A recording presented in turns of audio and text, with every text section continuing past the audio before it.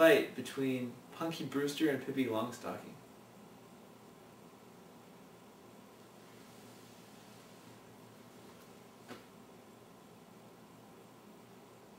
I don't know.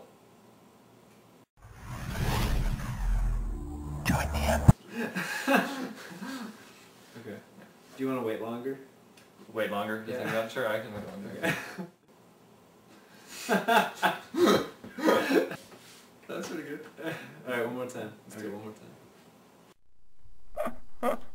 People are going to be mad because they won't get what they expected with this video.